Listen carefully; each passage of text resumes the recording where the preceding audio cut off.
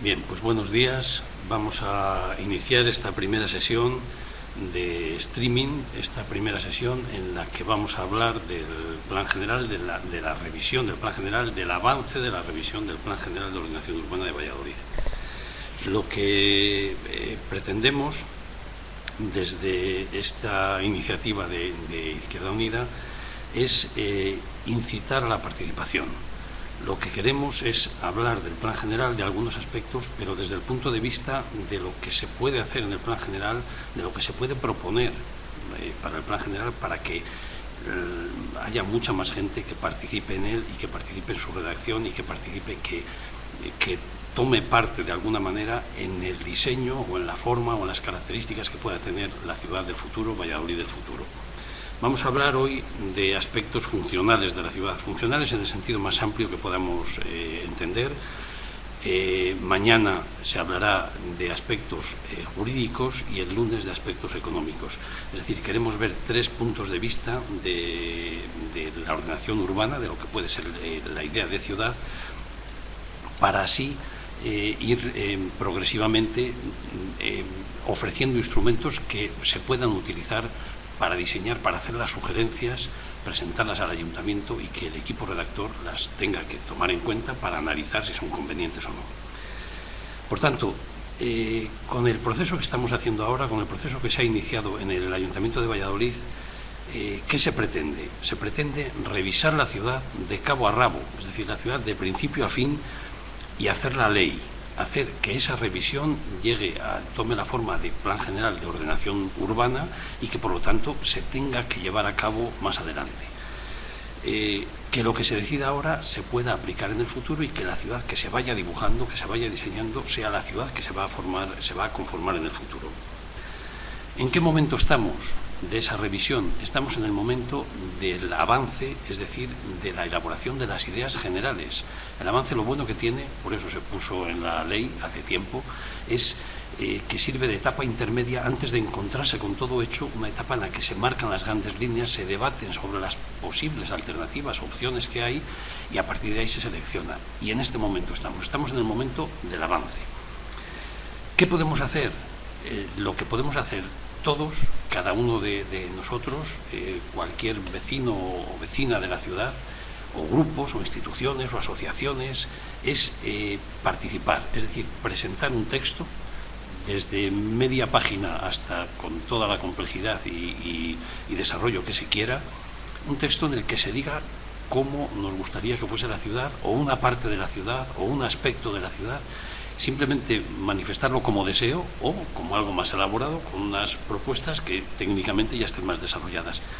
Todo vale con la eh, idea que tenemos que tener clara de que el avance se trata de definir el conjunto de la ciudad, definir la idea general de la ciudad, pero ya digo, aunque sea una parcela en una esquina concreta, se puede también presentar ahora. Se trata no de definir, que eso se definirá, al final el, plan lo elabora el ayuntamiento. Eh, su conjunto y lo aprueba el Pleno Municipal. No de definirlo, por tanto, de definir la idea de ciudad en su conjunto, sino de influir en esa definición. Se trata de presentar sugerencias, eh, alternativas, alegaciones incluso a las cosas que se han presentado, que están en el documento presentado, para que, como digo, para influir en la decisión final. ¿Y con qué contamos para hacer esto? Contamos con un documento que se llama documento de avance, precisamente diagnóstico y avance, que lo ha presentado el equipo redactor, lo ha hecho suyo el equipo de gobierno y han eh, aprobado que se exponga al público y en estos momentos está expuesto al público. Podemos verlo, eh, hay una exposición en el Centro de Recursos Turísticos, en el, en el, edificio de cristal que hay en la acera de Recoletos, al lado del Campo Grande, ahí en el sótano hay una exposición ahí se puede ver de algo de lo que plantea el avance. Se puede ver también el, avance, se puede, eh, ha habido un par de foros, ha habido un par de foros abiertos con muy poca participación, yo creo que se han eh, difundido muy poco. Y, también ha habido unas jornadas eh, técnicas de pago y además dirigidas mm, básicamente a trabajadores del ayuntamiento y a expertos, podemos decirlo, eh, por el contenido que tenían las jornadas. Eso ha sido todo, ha, habido muy poca, hasta ahora quedan muy pocos días, es hasta el sábado 27 eh, cuando se pueden presentar estos escritos de sugerencias, pero ya digo, ha habido muy poca participación hasta ese momento y muy poco impulso de la participación. Entonces, en cualquier caso, se puede ver ese documento de avance que digo, se puede ver en la página web del ayuntamiento. Se entra en valladolid.es, la página web del ayuntamiento, ahí en tu ciudad buscas acceso temático y buscas urbanismo y vivienda, o sea, tu ciudad, acceso temático, urbanismo y vivienda, y ahí está el avance. Pinchas en el avance y hay fase 2.2 abajo en ese texto eh, donde aparece el desplegable, aparece el 2.2 diagnóstico y el 2.1 trabajos de información. Los trabajos de información se pueden ir viendo uno a uno, los trabajos con que se ha contado hasta este momento, y el diagnóstico, en, eh, diagnóstico y avance en, la fase, en lo que se llama 2.2. los trabajos de información están puestos por orden alfabético, de tal manera que el índice aparece en la P, no aparece al principio, sino aparece en medio. Entonces es PGOVA, Plan General de Ordenación Urbana de Valladolid, Información y Avance, ahí es donde aparece el índice de todos los documentos que se tienen. Bien, esto es lo que tenemos, el documento de avance, con los documentos de información claramente insuficientes, hay que decirlo desde este primer momento, porque, por ejemplo, no solamente falta información sobre las necesidades de vivienda de la ciudad, que luego lo comentaremos, sino que también falta información de los derechos adquiridos. Se habla, el alcalde de la ciudad ha hablado hace unos días de que para redactar el nuevo plan hay que tener en cuenta los derechos adquiridos, pero claro, hay que saber cuáles son esos derechos adquiridos, en qué, cuantificar, eh, eh, tener unas, unas ideas por lo menos mínimas para empezar a hablar, para saber de qué, cuáles son los compromisos que se tienen y el coste que va a tener desclasificar una zona u otra. Y eso no está, eso no aparece, ni siquiera se menciona, se, eh, se da por hecho que habrá que hacerlo, pero ¿por qué no se ha hecho ya? Eso es, es un elemento fundamental. Bien, entonces tenemos los documentos de información y el documento final con ciertas contradicciones entre el texto que se plantea y eh, las propuestas que se hacen. Pero no, no nos vamos a centrar en, irlo explicando, ahí está el documento, se puede ir viendo y también se han hecho ya algunas exposiciones o manifestaciones de lo que hay.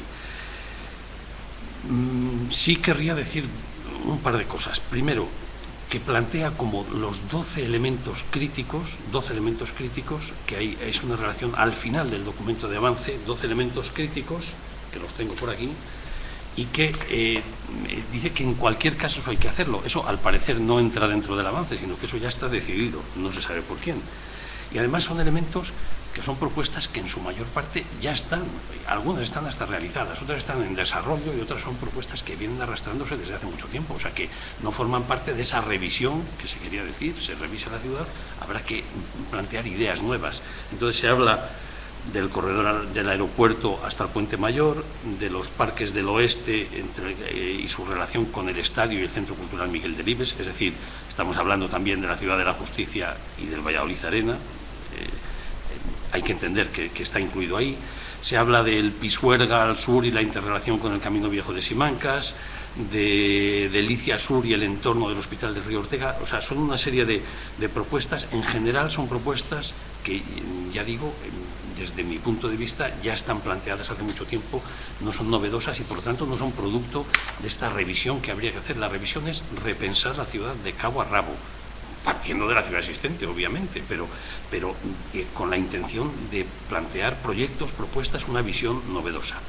Teniendo en cuenta además, que eso también hay que decirlo ya desde este primer momento, que estamos en una situación económica radicalmente diferente de la anterior y por lo tanto eh, hay que ver cuál es la aportación a la ciudad que se puede hacer en estos momentos que sea más útil.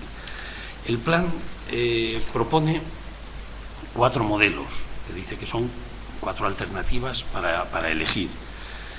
De esos cuatro modelos, uno de ellos es sorprendentemente el que hay ya en el plan de 2003 yo creo que esto no es admisible. Si se está revisando un plan y se está eh, partiendo de la base de que se hizo en otras circunstancias radicalmente distintas, no se puede plantear como modelo, como uno de los modelos a tener en cuenta el que se está revisando precisamente.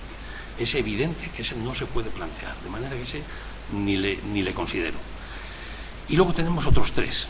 Entonces, en esos otros tres lo que hace eh, el avance es una, eh, una revisión, de una descripción de cada uno de esos modelos y dentro de esa descripción lo que hace también es eh, luego mm, plantea las ventajas e inconvenientes que tiene cada uno de los modelos.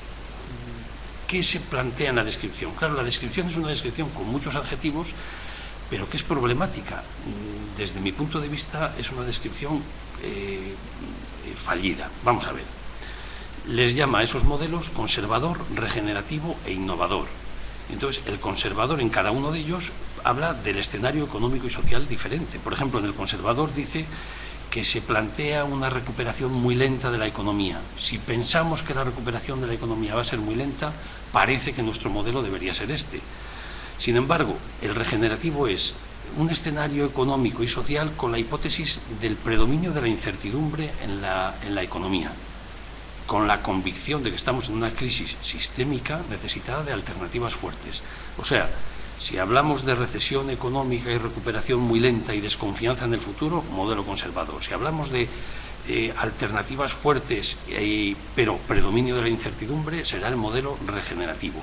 Y si hablamos de confianza en una recuperación de la economía a medio plazo, y pone 10 años, entonces hablamos del modelo innovador ya de entrada es un poco sorprendente, porque puede ser modelos de confianza en una recuperación a medio plazo y sin embargo que parezca más procedente muchas de las pautas del modelo conservador, porque hay que, hay que separarlo de esa manera que es un poco sorprendente. Además, cuando habla de 10 años, hay que recordar que el plan que se está revisando ahora tiene 9, o sea que dentro de 10 años a lo mejor había que proceder a otra revisión, de manera que es un poco extraño. Y luego, muchos de los conceptos que pone en la descripción, que ya digo que son adjetivos, calificaciones que hace, lo que plantea son eh, conceptos que en muchos casos no son comparativos. O sea, por ejemplo, capitalidad. En el modelo regenerativo dice impulso de la capitalidad y en los otros dos no dice nada. Bueno, a lo mejor es que el impulso de la capitalidad se puede plantear en el modelo conservador y en el modelo innovador también, pero sin embargo no se dice. Se dice reconsideración del papel de las ciudades en la economía europea en el modelo innovador y en los otros dos de ese tema no se dice nada. Es muy difícil compararlos hay, elementos, lo que sí hace es comparar el suelo que va a incorporar. Y entonces en uno dice volcado hacia adentro, hacia la ciudad existente, y sería el modelo conservador, mm, eh, crecimiento urbano selectivo, es decir, la zona este, para concretar, y sería el modelo regenerativo, y otro dice eh, geometría variable estrategias urbanísticas adaptativas, y ese sería el modelo innovador. ¿Qué quiere decir? Quiere decir que en el regenerativo y en el innovador van a meter más suelo, que la ciudad va a crecer más, y en el otro dice, dice concretamente eliminación del suelo urbanizable que se considere no, necesario. Este es uno de los elementos que son comparables, pero todos los demás elementos que plantea y todos los demás que no plantea, es decir, la movilidad, no se puede hablar de pautas de movilidad diferentes en un modelo u otro, en una solución u otra, o es que ahí no hay nada que pensar porque ya está decidido. Naturalmente que hay cosas que pensar, y lo mismo con las propuestas de vivienda, de rehabilitación, con las propuestas de equipamientos y dotaciones. Hay muchas cosas que pensar en todos los elementos de la ciudad y por lo tanto el avance debería contemplar alternativas que tengan en cuenta eso, no dando eh, los distintos elementos, no dando por hecho que de casi todo ya lo tenemos decidido y que solamente hay que hablar de cuánto suelo metemos. Hombre, eh, eso es excesivamente escaso, eso no nos vale como ideas de ciudad diferentes. Por tanto, eh, lo que el documento que tenemos, desde mi punto de vista, es un poco inservible. Da una documentación, sin duda, una información, solo faltaba, eh, da una información, en algunos casos muy amplia y muy notable, por ejemplo, en cuanto a las cigüeñas, si, si se diese la misma información, información que se da sobre las cigüeñas para las personas estaríamos muy bien. Por ejemplo, respecto a las viviendas vacías, se habla de los nidos de cigüeña vacíos, pero no se habla de las viviendas vacías. Pero bueno, el caso es que, o no se concreta, el caso es que eh, nos parece que esos modelos no son los modelos sobre los que hay que hablar. Eso nos valdría simplemente para suelo y además con muchas cautelas, pero de todo lo demás no se habla. Entonces, lo que nos parece que es muy importante aquí, y por eso quería eh, subrayarlo desde el principio, es repensar la ciudad en su conjunto y en elementos, pero repensarlo con libertad, con apertura. No ir eh, constreñidos por ideas predeterminadas, sino con apertura. Eh, que tenemos una idea de conjunto, perfecto. Que solamente es de un barrio determinado, perfecto. Que es de un elemento determinado, perfecto también. Es decir, adoptar la visión de la ciudad como si, en principio, eso, de eso es de lo que quería hablar hoy, pudiésemos hacer todo lo que todo lo que fuese pensable, cualquier cosa que fuese pensable lo pudiésemos hacer. Luego veremos problemas que, que, puede haber jurídicos, lo veremos otro día, y problemas que puede haber, que va a haber sin duda, económicos, también lo veremos. Y al final habrá que integrar todo, pero de entrada poder pensar cuál es la ciudad que desearíamos, cuál es la ciudad que nos gustaría, cómo nos gustaría que evolucionase Valladolid, teniendo en cuenta que las ciudades evolucionan mucho, evolucionan muchísimo, incluso áreas interiores evolucionan muchísimo y eso se pueden ir cambiando las cosas. Algunas se hacen a corto plazo, pero otras, otras muchas de las propuestas de la ciudad, algunas de las más llamativas en las ciudades, tardan 100 años en desarrollarse. Hay una idea clara y se va siguiendo, siguiendo y al cabo de 100 años eh, se acaba de construir. Y entonces eh, eso también tiene su interés, de manera que hay que tener, con esa visión más amplia, yo vuelvo a, a invitar a que se piense y a que se plantee lo que nos parezca oportuno sobre la ciudad. Entonces, dije que iba a hablar de aspectos funcionales y, en el sentido más amplio. ¿Cómo ver, por tanto, la ciudad desde esa idea del funcionamiento, ya digo, desde un sentido amplio? ¿eh? Eh, creo que puede ser útil, hay mil maneras de plantearlo. La ciudad es muy compleja, todas estas gaitas, pero a, pesar de ello, eh, creo que es importante eh, señalar, hacer alguna simplificación, algún esquema para podernos mover. Por cierto, estoy viendo aquí una hoja, perdón por la, eh, el excursus, pero que, me hace gracia, porque en el avance es que lo tenía aquí preparado y, en su momento no lo he dicho, lo digo ahora. Hay en, en, los, en las jornadas que se hicieron técnicas en el ayuntamiento, eh, yo asistí a algunas de ellas. Y, por ejemplo, había algunas cosas que me resultaron un tanto sorprendentes. Cito literalmente. Dice, decía el, coordinador o el director técnico, o como, se llame, del, del, plan, Juan Luis de las Rivas, que dice, hay unos 30 proyectos sobre la ciudad que ya están hechos, están dibujados, pero si yo te los digo, te facilito tanto las cosas que no lees el documento el documento, entre líneas, habla de todos estos proyectos. Entonces, eh, me resulta sorprendente, o sea, me resulta sorprendente que haya proyectos ya hechos y que no se hayan incorporado en el avance. ¿Por qué se hace eso? Eh, para forzar que se lea. ¿Por qué eh, hay que forzar que se lea? O sea, cada uno leerá como le parezca más oportuno. Si existe esa documentación, ¿por qué no se ha presentado con el avance? Pero bueno, continúo. Entonces, digo, eh, hablaba de hacer una simplificación de la ciudad para poder pensarla con cierta tranquilidad, digamos. Se puede ver desde tres, eh, como la composición de tres aspectos. Uno, el callejero, otro, el parcelario y otro, el paisaje. Vamos a ver. El callejero, es decir, este sistema de calles, el sistema de vías, que no solo son las calles, que luego tienen más cosas, pero que básicamente son elementos de carácter fundamentalmente lineal y vinculados a la movilidad, al movimiento. El callejero nos puede dar mucho para pensar de cómo organizarlo y además es un elemento vital, es un sistema que relaciona todas las partes de la ciudad y es fundamental. El callejero. Ahora vuelvo con él. Segundo, el parcelario, es decir, lo que está, lo llamaba Cerdá vías e intervías. Intervías era las manzanas, o sea, lo que está entre las calles, las parcelas. Entonces, el parcelario es donde se desarrollan la mayor parte de los usos de la ciudad también se desarrollan en las calles, es obvio, pero la mayor parte de los usos de la ciudad se desarrollan en parcelas. El residencial, los productivos, etcétera, están en las parcelas. Vamos a ver cómo podrían ser y qué pueden tener esas parcelas. Segunda pieza. Y luego, eh, frente a esta visión, podemos decir, eh, una visión eh, técnica o esa subdivisión entre calles y parcelas, pues tenemos también otra forma de verlo que puede ser ya menos eh, técnica, menos dura y más eh, emocional o más emotiva, más sentimental, que es el paisaje. Es decir, los aspectos ya desde un punto de vista eh, mucho más relacionados con el sentimiento, con la memoria o, con la calidad desde el punto de vista estético incluso. Ese otro aspecto también le vamos a considerar. De manera que propongo hablar del callejero, hablar del parcelario y hablar del paisaje urbano, del paisaje de la ciudad. Vamos a ver primero con el callejero. Entonces el callejero eh, lo que nos permite pensar es que la ciudad está compuesta de un montón de vías. Creo que en Valladolid, si no recuerdo mal, me parece que hay mil 300 o mil, no recuerdo el número exactamente, mil y pico calles, o sea que son muchas, calles con nombre, mil y pico nombres de calles, algunas larguísimas, otras muy pequeñitas, pero de, muy distinto carácter, pero que forman ese conjunto del callejero. Eh, un conjunto que, lo primero, puede ampliarse. Normalmente cuando estamos hablando de crecimiento urbano, pues lo que hacemos también es ir construyendo nuevas calles, siempre ha sido así que puede también eh, eh, desarrollarse.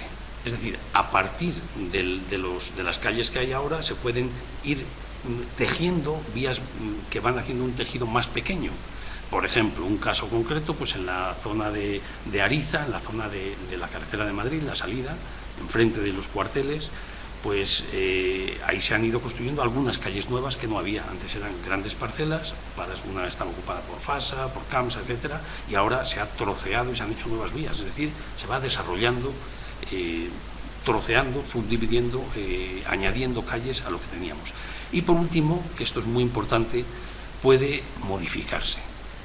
Continuamente se está modificando una de las propuestas más importantes de modificación del carácter del callejero, de, lo que ahora es de una manera que sea en el futuro de otra, se va haciendo, cambiando la urbanización de las calles, haciendo, peatonalizando algunas, eh, modificando, añadiendo carriles bici, etcétera. O sea, se va modificando sobre las mismas calles que ya tenemos. Y, también, y una, por ejemplo, muy conocida, eh, pues ese sería el soterramiento. Si soterras la vía, lo que es una vía de comunicación, eh, una vía férrea, pasa a ser un espacio verde, equipado, etcétera, o sea, se modifica el carácter de esa, calle, se crean nuevas calles en los talleres, etcétera, o sea que el callejero tiene vida propia, tiene, se puede ampliar, desarrollar y modificar.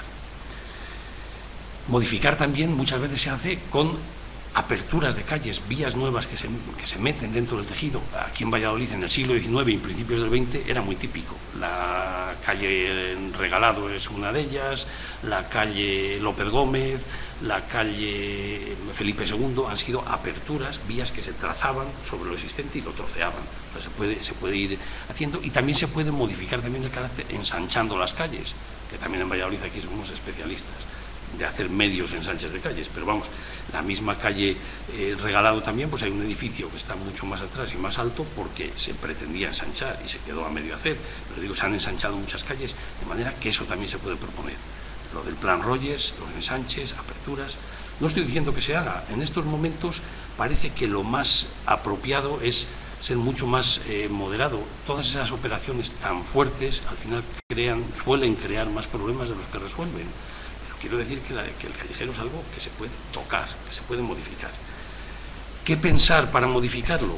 Pues se puede pensar en los modos de moverse. Si, damos prioridad a un modo sobre otro, el carácter del callejero lo vamos a ir cambiando. Por ejemplo, pues eh, vamos, ha habido ciudades que han tenido cambios radicales en muy pocos años, radicales, es decir, ciudades en las cuales eh, estaban ocupadas, totalmente tomadas por, los coches y que en muy pocos años han pasado a estar, por decirlo también gráficamente, tomadas por las bicis. Hay muchos ejemplos en ciudades centroeuropeas que conocemos.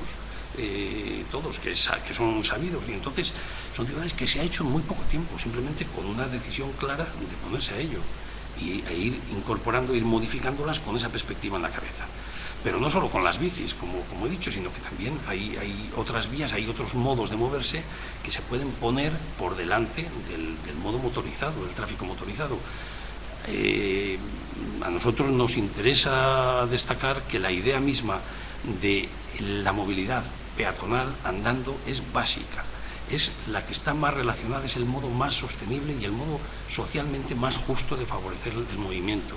Hay mucha gente que solo puede andar, mucha gente, y además que, es lo más saludable y es lo más útil, incluso lo más sostenible también para la ciudad. Y eso hay que, no solo hay que posibilitarlo, solo faltaba que no se pudiese llegar a los sitios moviéndose, sino que hay que estimularlo, favorecerlo y ponerlo en primer plano. Establecer vías que ahora están tomadas por los coches, que estén tomadas por los peatones y que los coches vayan, sean, eh, vayan en una posición accesoria, no en el eje y ocupando el mayor espacio, sino en un espacio mucho más reducido. Por ejemplo, eso se puede plantear.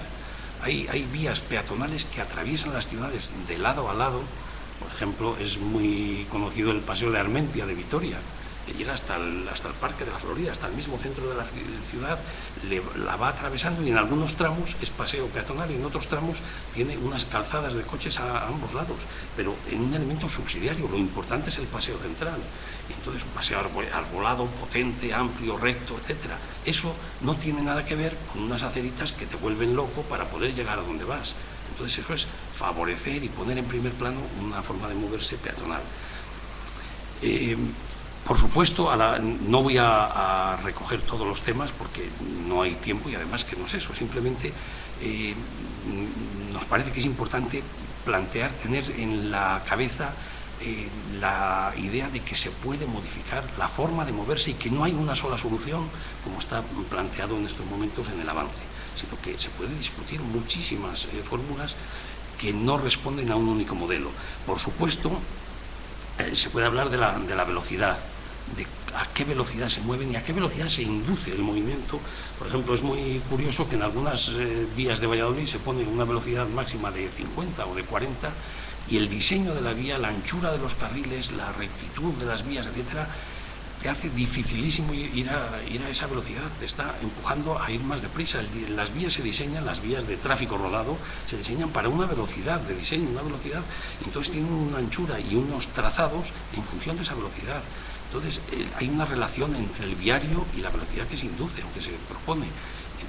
Y eso habría también que tenerlo en cuenta. De manera que hablar de la velocidad, la fluidez, por supuesto los aparcamientos. Si hablamos de vehículos, ¿Qué vamos a hacer con esos vehículos? ¿Dónde los vamos a dejar? ¿Cómo vamos a cambiar de un modo a otro de moverse? Del transporte público a la bici, de la bici a andar, etcétera. ¿Y dónde vamos a dejar esos vehículos? ¿Dónde vamos a dejar las bicis? Si pensamos que haya muchas.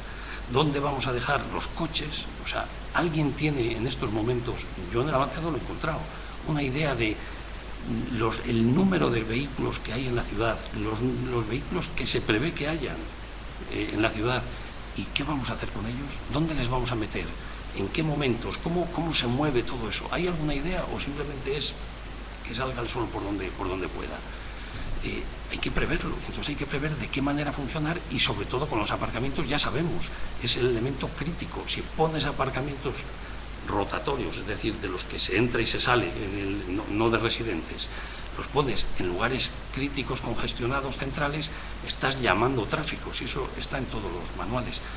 Se puede plantear, ¿eh? no voy a decir que, solo faltaba, que no se pueda plantear, pero, pero que quede claro, si esa es la idea, pues que sepamos eh, las consecuencias. Lo que no se pueden es plantear cuestiones divergentes, cuestiones contradictorias. Eh, aparcamientos de bicis, ya digo, bicis también en áreas de estación, en elementos, en lugares críticos también para estimular el uso de la bici, digo, aparcamientos de bicis. Tener en cuenta el tráfico de paso, tener en cuenta el transporte y la logística, la distribución de productos, la carga y descarga, es organizarlo también e incluso ahí es donde hay experiencias en algunas ciudades donde los vehículos eléctricos juegan un, papel primordial para llevar eh, compras, para llevar eh, artículos, para, mover eh, mercancías dentro de los espacios residenciales, incluso espacios en, barrios sin coches, que en algunas ciudades los tienen. En algunas ciudades desarrollan barrios sin coches, los coches compartidos, hay muchísimas cosas. Entonces, todo eso tiene incidencia el transporte público, que es evidente, en el documento de avance se dice que hay que repensarlo, repensar incluso aunque sea el sistema de autobuses, sin entrar en, otros, en otras fórmulas pero es, necesario repensarlo y sería muy conveniente porque lo favorece establecer carriles bus, carriles eh, exclusivos para el transporte público, porque es la manera, el transporte público cuando es útil es cuando se mueve eh, con, una velocidad eh, crítica que sea competitiva con el resto de los, de los modos, es decir, con el tráfico rodado, con, con los coches, con los vehículos particulares. Si no, pues entonces se hace menos atractivo y, por eso cuando tardas en llegar a los sitios, mm, un, tiempo que sea razonable, si no se hace menos atractivo que otros modos. Y ahí es donde tenemos que movernos, tenemos que apostar claramente, pues al final hay que hacer carriles bus, más carriles bus, mejor hechos, y, optar, por tanto, por el transporte público, pero no decir que optamos por el transporte público y a la vez meter aparcamientos rotatorios en el centro, eh, estimular el uso del vehículo privado, no reservar eh, espacios adecuados para, para, el transporte público, etc. Por tanto, tenemos todo un abanico de elementos solamente para la movilidad. Si hablamos de las redes técnicas que van debajo de las calles, la red de abastecimiento de agua, saneamiento, electricidad, telecomunicaciones, etcétera, alumbrado, los famosos eh, eh, contenedores soterrados, carísimos, súper carísimos eh, contenedores soterrados, ¿qué vamos a hacer? ¿Los vamos a, poner por toda la ciudad? Con el coste que tiene es imposible. Hoy por hoy es imposible y sin embargo, ¿por qué favorecer unas zonas respecto a otras? Ese juego de, favorecer el centro respecto al resto de las áreas residenciales nos parece que es muy pernicioso para la, desde luego nuestra idea de ciudad no está y ahí tenemos un problema, hay, un problema que hay que resolver, hay que resolverlo. Solamente no es que sea carísimo instalarlos, es carísimo mantenerlos. Cientos de miles de, euros cuesta cada año mantener, no sé si eran 250.000 euros, no, sé, una, cantidad, no recuerdo exactamente, eh, elevadísima, el mantenimiento, la limpieza y el engrase de los contenedores, del funcionamiento de los contenedores soterrados, eso, eso hay que resolverlo las redes técnicas y las redes técnicas además tener en cuenta que no hay que tener solo la perspectiva de las, de, las compañías suministradoras, sino todo lo contrario. Lo que hay que ver es verla con recelo, las, perspectivas de las compañías suministradoras, y ahí es donde tenemos que estar. Y por último, voy a citar dos cosas más y acabo con, con el callejero. Uno, las plazas es necesario prever plazas, no como elemento ornamental, ni como sino plazas como lugares de encuentro. Y hay barrios nuevos que se han hecho que no tienen plazas, que no tienen plazas como tales, y es necesario prever plazas como lugares de encuentro. Las plazas cumplen una función en la ciudad fundamental y por lo tanto hay que insistir en ello. Dentro del sistema viario es, un espacio crítico, los nudos, pues espacios libres públicos también se llaman, pero, pero que son espacios eh, fundamentales en su distribución y en la relación con, los espacios a los que sirven. Y por último, un tema que también es, eh, me parece que hay que tenerlo en cuenta, que es qué cantidad de espacio público eh, nos interesa del, sistema viario respecto al espacio servido, porque hay muchísimas diferencias entre unos tipos de tejidos y otros, entre unas densidades de, vivienda o de edificación y otras. Hay muchísimas diferencias y conviene hablar de ese tema. ¿Qué vamos a poner? ¿El 7% para los viales, por tener una idea en la cabeza? ¿El 15%? ¿El 24%? ¿El 32%? Porque todas esas cifras existen y entonces hay que ver eh, qué superficie es la más adecuada, la que nos cuesta menos construir y mantener, pero es la que nos da más servicio, cada cuánto se debe ir abriendo las calles para, ir dando, servicio y accesibilidad. Ese es un debate que también lo tenemos que plantear y que no está ni tocado en el documento de avance. Bien, con todo esto lo que quiero decir es que el conjunto del, callejero eh, conviene repensarlo tanto en su conjunto, los modos de moverse, las exigencias de los vehículos, las velocidades, el transporte, la logística, la distribución, las redes técnicas, las plazas y su función, eh, las cantidades, todos son temas de los que se puede y yo creo que convendría hablar, ya insisto, sueltos o en conjunto. Vamos a entrar con el parcelario. Entonces, el parcelario se refiere a los usos de la ciudad, los usos públicos y privados en la ciudad lo he subdividido en cuatro paquetes también aquí. El uso residencial, eh, fundamental, los usos productivos, los equipamientos y, he considerado también el tema de los, centros, los usos centrales. Entonces, tenemos aquí los usos productivos, eh, perdón, el uso, el uso residencial. El uso residencial, eh, sabemos que hay distintos espacios residenciales en la ciudad, eh, que hay viviendas, viviendas bajas y altas, viviendas en pisos y en unifamiliares, con patio y sin patio, eh, con parcelas pequeñas y grandes, adosadas. Hay muchas tipologías, tipos de viviendas en la ciudad. Eh, vinculado a la calle y a los servicios que hay en, esa zona. Hay características y tipologías, pero hay dos cuestiones, una sobre todo fundamentales, que son la demanda de viviendas, cuál es la demanda y sobre todo la necesidad de viviendas. La demanda es, uno de los elementos del mercado de la vivienda, es decir, oferta y demanda, cuánta oferta hay, cuánta demanda hay, e, intentar que cuadren y que, y que le hagan el juego del mercado de la vivienda. Pero hay otro aspecto que poco tiene que ver con la demanda, sí, tiene, tiene que ver, pero no solo con la demanda, porque hay elementos que no constituyen demanda de vivienda y sin embargo sí constituyen necesidad de vivienda. Hay mucha gente, muchos hogares que necesitan una vivienda porque, no la tienen o porque en las condiciones en, las que las condiciones de la vivienda en la que viven no son adecuadas ni mínimamente adecuadas y sin embargo no tienen acceso al mercado de la vivienda.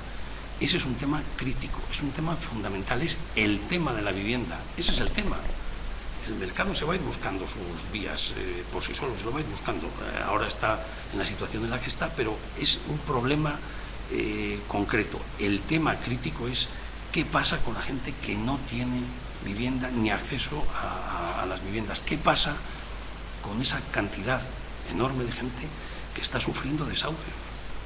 Estamos a un ritmo de dos diarios en Valladolid, más o menos, de media. Y entonces ¿Qué pasa con esa gente? Ese es el tema de la vivienda, ese es, uno es el tema crítico de la vivienda. De eso no se habla en el plan, en, el avance del plan general no se habla de, este tema. entonces, eh, ¿cómo se va a esperar que, haga ninguna propuesta para, solucionarlo o para atenderlo? Ese es un tema fundamental, vuelvo a decir.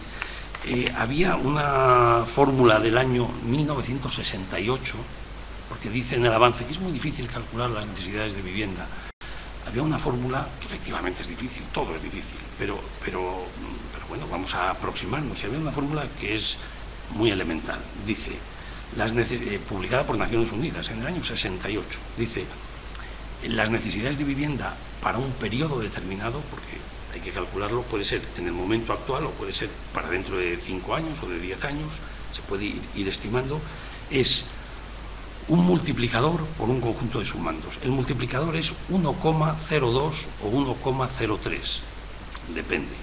¿Qué quiere decir? Que el 2% mm, o el 3% de los alojamientos existentes se supone que van a estar vacíos. Es decir, tiene que haber algo de, alojamiento vacío, la tasa remanente de viviendas vacantes para que, para que se pueda producir el movimiento. Pero es el 2 o el 3, no en las tasas en las que estamos ahora del 15 o el 20. Entonces, eh, dice, las viviendas, eh, ya digo, la necesidad de viviendas, el sumatorio de, primero, hogares sin alojamiento, hogares que existen y que no tienen en estos momentos alojamiento, que eso se puede estimar. Eh, hogares que, ocupan alojamientos inaceptables. Entonces hay que ofrecer prever nuevas viviendas para los que tienen alojamientos inaceptables. Hogares que conviven por necesidad, en un alojamiento aceptable, pero que son eh, eh, padres e hijos que de, cierta edad, incluso núcleos familiares, y que están conviviendo porque no tienen posibilidad de salir. Ya no es el tema de que sea un hogar inaceptable, sino que conviven por necesidad. Eh, hogares para alojar al incremento proyectado o esperado de población o de creación de nuevos hogares en el periodo de tiempo al que nos referimos, etcétera. Al final es esa serie de sumandos que algunos son complicados y difíciles, pero que se pueden, no solo que se pueda, que estamos obligados a estimar, a estimar cuáles van a ser esos, esa cantidad de viviendas que nos hace falta. Y sabiendo la que es, hay que ver de qué manera se puede atender. ¿De qué manera? O sea, lo que no nos vale es decir, lo sentimos mucho, ¿qué le vamos a hacer? Eh, eh, hemos comentado muchas veces que lo más sorprendente de la, de la ley, de la legislación que hay del derecho a la vivienda en Castilla y León es que no dice ni lo que es una vivienda, dice ya se determinará reglamentariamente o en normas eh, subsidiarias a esta, ley, y luego dice, y tampoco dice lo que es el derecho a la vivienda. Dice que existe un derecho a la vivienda, no se sabe lo que es la vivienda y no se sabe cuál es el derecho. Hay que definirlo. ¿A qué tenemos derecho?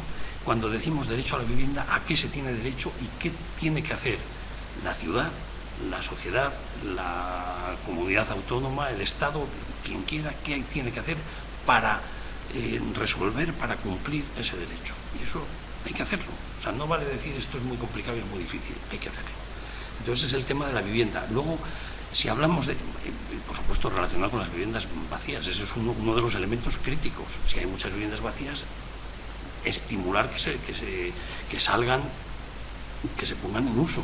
Entonces ese estímulo no puede ser como es hasta ahora, que es ninguno. Eh, respecto a los usos productivos, pues mm, conviene hablar de las áreas industriales, conviene hablar de los parques variados, del parque tecnológico, parque científico, parque agroalimentario que se proyecta, de todos los parques que quieran, ahí hay mucho que decir ¿eh? y ahí se puede plantear mucho. Pero sobre todo mm, eh, me interesa llamar la atención sobre un tema y es que en el avance se dice que pueden venir muchos usos nuevos, usos que necesitan mucho suelo y claro, hay que tenerlo previsto y por eso hay que clasificar suelo. Pues lo siento, pero yo creo que no. O sea, los usos que han venido, que no estaban previstos y que han llegado a la ciudad, han modificado el planeamiento mm, a toda velocidad, a más o menos velocidad, pero lo han modificado. Empezando por donde se han instalado los talleres de Renfe, eso no estaba previsto en el plan de 2003 y ahí están construidos y no ha pasado nada. Y siguiendo, ya por eh, poner el dedo en la llaga, en la llaga que nos duele eh, a mucha gente, que es la instalación de IKEA. IKEA no estaba previsto en ningún plan y ahí está. IKEA, Inter IKEA y todo lo que quieran, de manera que no nos pongamos eh, de esta forma tan obsesionados con que hay que clasificar mucho suelo porque si vienen usos no previstos que necesita mucho suelo que lo tenga ya clasificado. No hay por qué actuar así, sino todo lo contrario. O sea, si cuando vengan, pues ya vendrán y se instalarán y ya se verá. O sea, que, eso, como digo, los ejemplos que tenemos más cercanos vemos que así es como se hace y no pasa nada. O sea, que ese no es un argumento válido desde mi punto de vista. Luego estamos con los equipamientos. Y en los equipamientos hay que hablar de los públicos y de los privados, pero teniendo en cuenta que son dos cosas diferentes. Que el equipamiento privado no es equipamiento público, una escuela privada no es una escuela pública y por lo tanto de lo que tiene obligación la ciudad de prever es de espacio para atender a la demanda pública, a la previsible demanda potencial pública. Tiene que tener espacio, no puede decir aquí como hay un colegio privado no pongo el colegio público o no preveo ni siquiera suelo para el colegio público, porque ese colegio privado se puede ir. Por ejemplo, ahora mismo se, eh, hay sobre la mesa, está ahora en disposición el colegio de las jesuitinas que se va para hacer un hotel. Entonces, ¿qué ha pasado ahí eh, con ese equipamiento? De manera que mm, cuidado con cómo se hacen las cuentas y lo público no es lo privado, insisto. Entonces, ¿qué tipos hay? ¿Cómo se distribuyen? Ahí hay muchísimas cosas que se, pueden plantear, pero mm, me gustaría también llamar la atención sobre un aspecto que es eh, las grandes piezas. La ciudad de la justicia, que es un espacio dotacional, puede tener sentido o no. Mm, nosotros creemos que no, pero digo, no, no siempre, no voy a entrar ahora en el debate, en el detalle, no siempre la solución de grandes piezas es la mejor, sino que habitualmente es la peor es la que obliga a moverse más de un sitio a otro, la que se interrelaciona menos con el resto del tejido y la que crea a la larga más gasto eh, en la propia ciudad. Y luego cuando hablamos de los centros, estamos hablando del comercio, estamos hablando de las oficinas, de, de, los centros comerciales. Vuelvo a hablar aquí otra vez de las grandes piezas respecto a las pequeñas. ¿Qué vamos a hacer con Equinoccio? ¿Qué va a pasar con Equinoccio que está casi vacío? ¿Qué pasa con eso? ¿Qué hacemos con eso ahora? ¿O qué se hace con eso?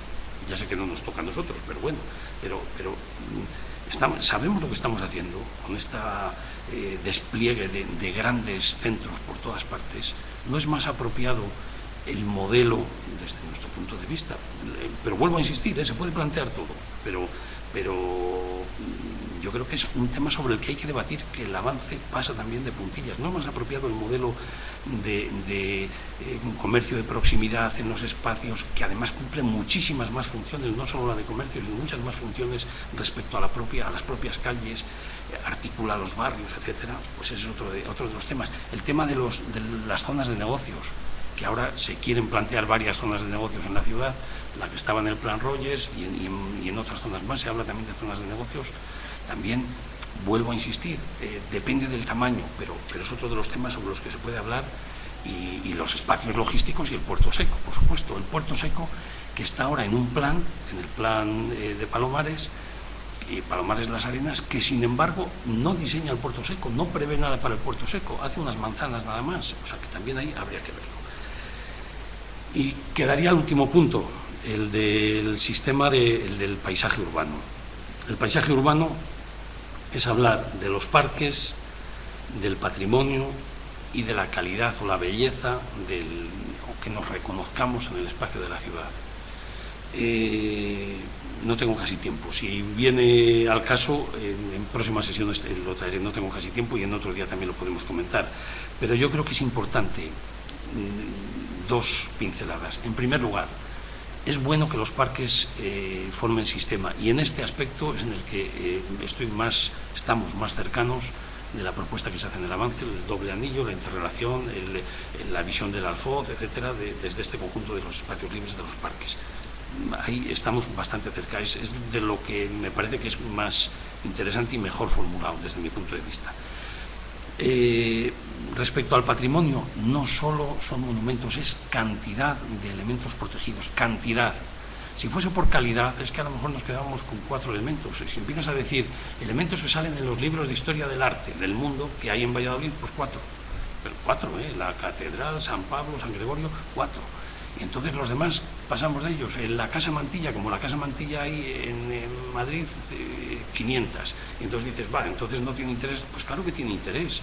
Es cuestión de cantidad de que el, paso del tiempo, la relación de la visión de la ciudad se va amoldando y se va atemperando con, elementos, con edificios, con árboles, con pavimentos, con elementos de la ciudad que se, que se hace el esfuerzo de conservar.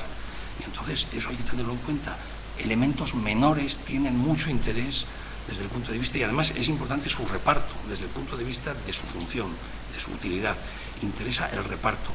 Interesa que en cualquiera de los barrios de la ciudad haya elementos protegidos, haya elementos catalogados y por último, respecto a la calidad del, espacio urbano, dos, también dos, observaciones. Primero, el centro es, muy interesante sin ninguna duda, pero los barrios también. Y hay que procurar eh, hacer actuaciones y, buscar la calidad y la belleza y, promover y defender, sobre todo, la belleza de los espacios periféricos de la ciudad. Ahí es donde tenemos una gran eh, prueba de la bondad del planeamiento que estamos haciendo. No son espacios que están mirando hacia el centro, sino que tienen vida propia. Desde este punto de vista, desde el atractivo eh, emocional, podemos decir, de, esas zonas. Y en segundo lugar, y ya con esto eh, concluyo esta eh, sesión de hoy, en segundo lugar es importante también no vincularse exclusivamente a los edificios que están relacionados con eh, episodios, podemos decir, gloriosos, sino, por llamarlo de alguna manera, ¿eh? gloriosos desde la historia de las hazañas bélicas, sino, digo hazañas bélicas en sentido figurado, sino, sino también para los edificios menores. Lo pequeño es hermoso, un uso, hay, algunos eh, usos, un determinado espacio comercial o, un bar en una esquina determinada hace una función social que conviene también hacer un esfuerzo por mantener. Forma parte de esa calidad del espacio urbano y así lo tendríamos que ver. Entonces, eh, creo con esto que esa perspectiva general, y, es lo que quería insistir, de elementos que se pueden valorar, matizar, proponer, pensar, repensar de toda la ciudad, es necesario que nos impliquemos con ello y que presentemos esos escritos para que el equipo redactor y el propio ayuntamiento tenga muchas más pautas y muchos más sueños a los que atender de, lugares o de espacios o de características de la ciudad que los que se deriven de, ese, esa actuación ensimismada que hasta ahora eh, han venido planteando.